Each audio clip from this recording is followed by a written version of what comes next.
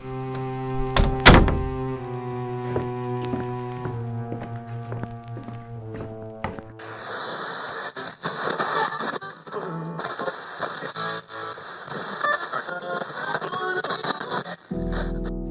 back to TTHL. Today we venture to the scenic town of Estes Park, Colorado. But before we start this episode, we wanted to take a moment and thank you for your support. By viewing our content and clicking on the like button, you truly make a difference. So please, if you haven't already, subscribe to our channel so you don't miss out on any of our upcoming stories. Thank you. Let's begin our tale of the Stanley Hotel.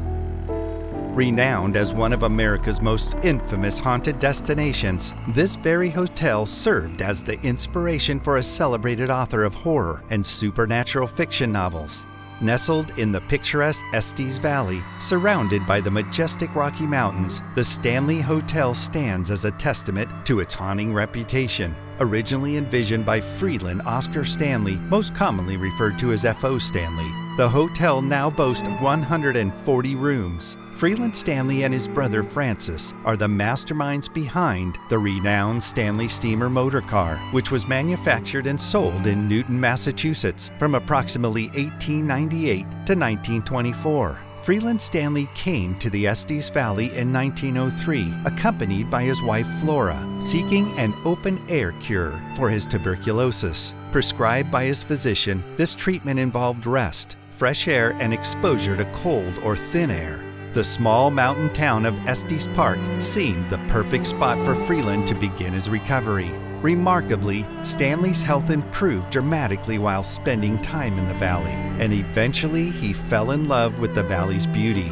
In 1907, after a full recovery, Stanley found himself dissatisfied with the simple lodgings, leisurely activities, and laid back social atmosphere of their newfound summer residence. Determined to transform Estes Park into a thriving resort town, Stanley embarked on a venture to construct the Stanley Hotel. This grand hotel boasted 48 rooms at the time and aimed to cater to the moderately affluent urbanites who constituted Stanley's social circle back in the eastern region, while also providing a haven for those seeking a therapeutic climate to alleviate their health conditions. The Stanley Hotel construction started in 1907 and it reached a completion on July 4, 1909. Originally intended as a lavish mountain getaway catering to privileged outdoor enthusiasts, the subsequent years would unravel an intriguing tale filled with mysteries and unexplained phenomena. Evidenced by countless accounts from both visitors and employees, ghostly encounters and peculiar incidents have firmly established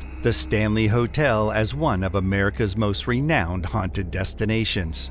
According to local legend, paranormal activity at the Stanley Hotel is said to have started in 1911, just two years after its opening. The focal point of these eerie encounters is Room 217, which has gained a reputation as one of the most haunted rooms in the entire hotel. Tragically, during a power outage, a housekeeper named Elizabeth Wilson unintentionally caused a gas explosion on the hotel's second floor while attempting to light a gas lantern. Elizabeth was thrown back from the second floor to the first floor, but miraculously escaped life threatening injuries. Other hotel staff members were also injured and had to be taken to the nearest hospital for treatment. Fortunately, none of the guests were harmed in the incident.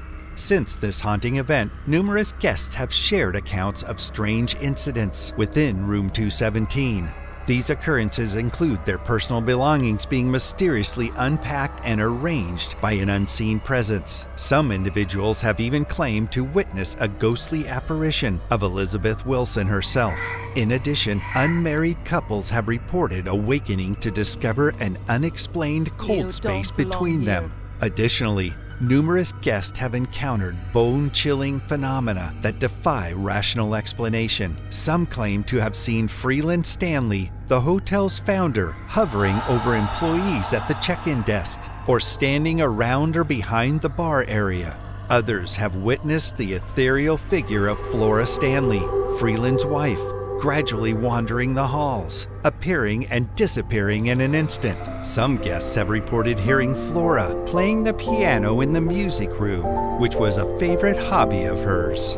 The fourth floor has also been a hotbed for paranormal activity. Initially, it served as accommodations for female employees and their children. Guests often share accounts of hearing sounds of children running, laughing, giggling, and playing on this floor.